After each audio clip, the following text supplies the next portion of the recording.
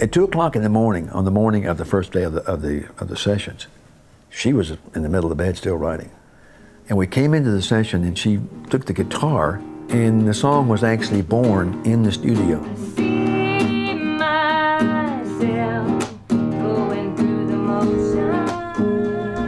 And then Denny Diante, my producer, got to uh, hearing part of him. He said, you got to make a duet out of this.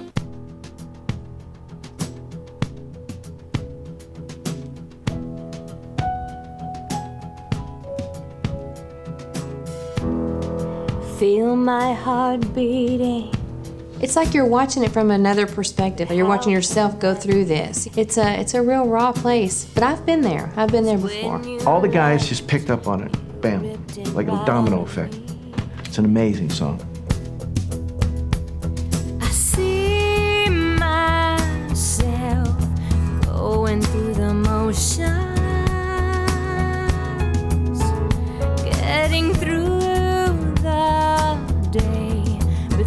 but feeling no emotion. I heard the chorus, and I can still sing the chorus, and that was two days ago. And uh, uh, you know, I, I can I I won't sing it for you now, but I could. Kelly's just a great writer, great performer. Dead Girl Walking uh, is probably the, the most unique. a great song, an unusual song that I think is really going to uh, surprise a lot of people in the album. Didn't mean to hurt you, only you. I mean, I'm good. I'm a dead girl walking. Sympathy. Yeah, It's a great line.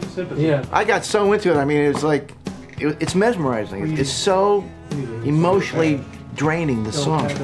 From a female point of view, it's, it's just like every female in the world should relate to the song. It is so humbling to hear what's in your head actually come out and sound so much bigger and better when you hear it live going down with these huge musicians. It's it's it's like I just had my first child today. It's beautiful.